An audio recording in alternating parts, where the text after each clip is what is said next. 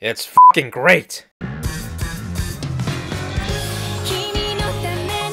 Now, I don't normally do reviews on this channel, let alone anime that aren't completely Yuri, but I just have to talk about this little gem that I picked up not too long ago. It is filled to the brim with charm, creativity, beauty, and meticulous juicy detail. And don't worry, we'll get to that soon enough. Now, newsflash, I have not read the manga, so this video will only focus on the anime. I'll also be spoiling everything up to episode 13. So if you're not caught up with the show, then...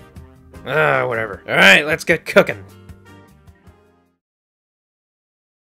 So very quickly, here's the plot of the show. A group of adventurers venture down into a magical dungeon where they confront a vicious dragon. The dragon eats one of the adventurers named Falin whole, but not before she teleports everyone else to safety outside of the dungeon. The remaining adventurers vow to save Falin before she's digested and revive her with magic. But this time, the gang plan accordingly and make use of the dungeon's many monstrous delicacies as they hunt down the ultimate cuisine slash predator. Now with that out of the way, let's go over the four stars of the show and what makes them such a fantastic ensemble. Our trusty protagonist Laios and his childlike fascination with all things monster related is such a joy to watch. And it's never overbearing or tiresome hearing him spit out some monster facts or gushing over the latest wacky monster dish. He has the right amount of charm, curiosity, and relatability. Someone who serves as a great lens for the audience into this fun yet bizarre premise. Next is Chilchuck, the pint-sized locksmith. He kind of fills out that cynical and slightly jaded side of the party, which is ironic given his youthful appearance. And I don't mean that as a negative, by the way. In fact, with all the crazy monster harvesting going on, I appreciate that he serves as the voice of reason most of the time. He's a realist, and a great foil to Laios' spontaneous hijinks. Next, we have the elven mage Marcille, and admittedly one of the things that drew me into the show, for reasons we can discuss later. It never gets old seeing her put up a cautious front when being faced with a new, potentially life-threatening monster concoction. But that doesn't mean she's a total stick in the mud. Despite being a worrywart, Marcille is probably the bravest and most determined member of the party, and it shows in her dedication to rescue Falin. And kudos to her voice actors for being able to deliver such a wide-ranging performance. You can really get a sense of concern, naivete, and whimsy in her voice. In fact, everyone does a fantastic job with her characters, so kudos all around. By golly, even the English voice cast are great. And that's a sentence you won't hear me say a lot. Also, for the Yuri fans out there, you might recognize Marcille's voice pretty quickly. そしてできれば、ユフィリア城にも好きになってもらえたらなって。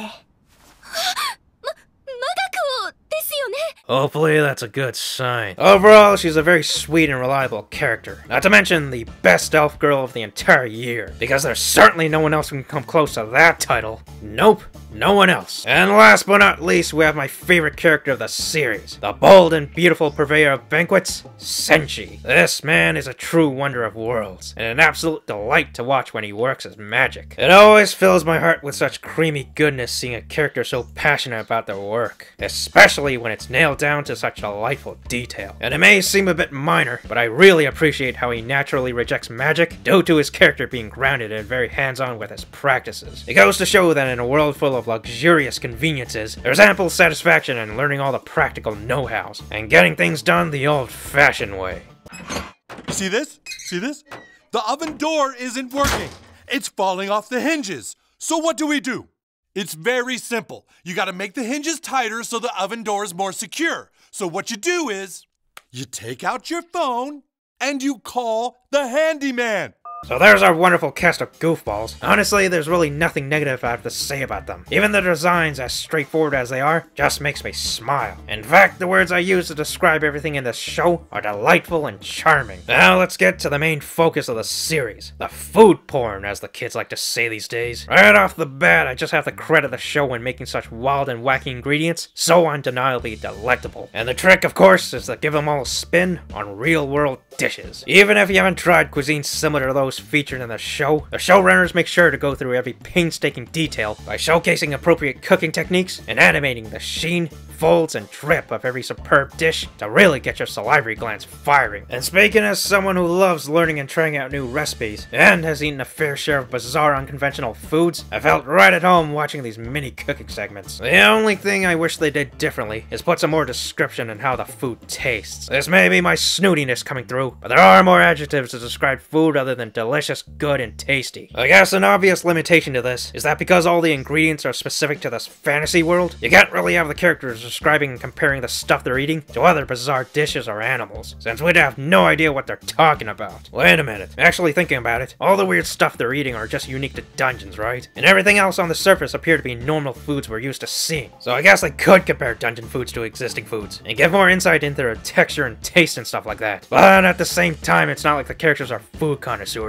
I mean, aside from Senshi. So it might be kinda weird if one of them went, Ah, yes, the light, delicate flesh of this giant parasite is quite akin to the savory meat of a spring-harvested freshwater eel. Every bite unleashes a torrent of sweet and fatty layers that melt like Bavarian goat butter. Forsooth, this felicitous fare has granted much favor to my multifarious palate. Anyway, next I want to briefly talk about the animation. There is not a single scene that goes by where I'm not in awe from the outstanding level of detail. Whether it's from the small but expressive movements of the characters, or the absolutely mind-boggling textures and their many menu items. I mean, this is par for the course for the Imagineers at Trigger Studio. They make sure you feel every punch, every bite, and every ridiculous over-the-top final smash. Forget Maximum Overdrive, your senses will be set on turbo. Also, I just want to point out how surprised I was that Trigger made an anime that wasn't originally by them. I was always under the impression that they did original anime only, but I think this is their first anime where they weren't the creators behind it. I mean, I know they made Edge Runners and did some Star Wars episodes, but in those cases, they were just taking an IP and providing original stories to them. Correct me if I'm wrong about anything. But yeah, Trigger continues to set the bar high when it comes to visual storytelling, and it really goes to show how the presentation of an anime really determines how passionate the showrunners are, and how much respect they have for the audience.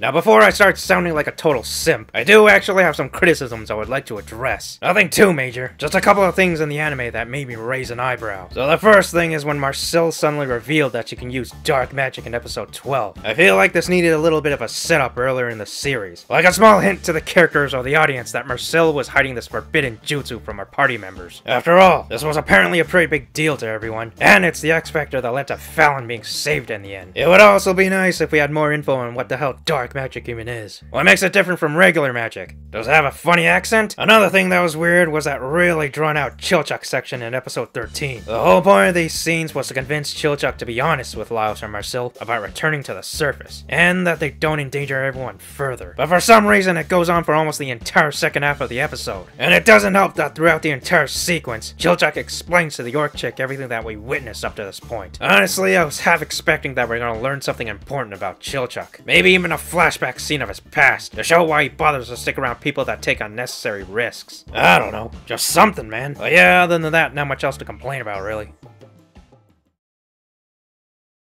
And now we finally come to the part you've all been waiting for, shippers. I'll admit what initially drew me to this anime was the flood of fan art in the last couple of months. And just like Boeing's safety standards, I had to do some investigating. So right off the bat I knew they weren't canon, but I was still curious what their relationship was, and what kind of trials and tribulations they go through that warrant such a positive response in the Yuri community. Despite being apart from each other for almost the entirety of the series, we do get some interesting scenes between them. They first met when they were kids, or at least Falin was a kid. I'm not sure old Marcille is, well with her being an elf in that, but we learned that Marcille's goal in life was to create her own dungeon, and thanks to Falin bringing her to one, she was able to realize the nuances that come with them. Clearly this moment had a big impact on Marcille, and she's stuck with Falin ever since. And like I mentioned before, we see many times in the series how devoted Marcille is in saving Falin, even going as far as begging Namari to join their party again. But honestly, they all pale in comparison to that wild bathing scene. Now to the uninitiated, they might watch the scene and think to themselves, sweet, they're giving us some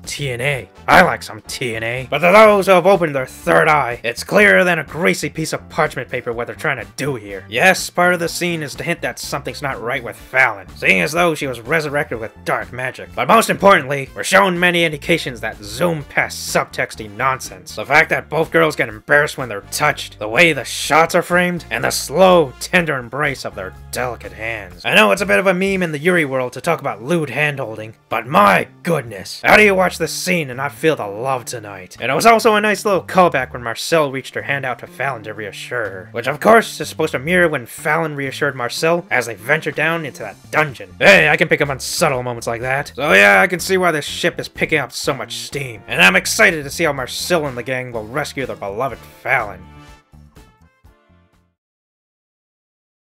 Well, that's my take on the anime so far. There's tons of other things I can compliment too, like the music, the world building, the creativity. But we beer all day and I got loads of anime to watch. But yeah, I'm interested in seeing how the second half of the series will stack up. My guess is that it's gonna be a little more plot focused. We got all the lighthearted stuff out of the way, and now things are starting to get serious. I just hope they remember to stuff our faces full of delicious dungeon food every now and then, because at the end of the day, that's the real star of the show. Anyway, see you around.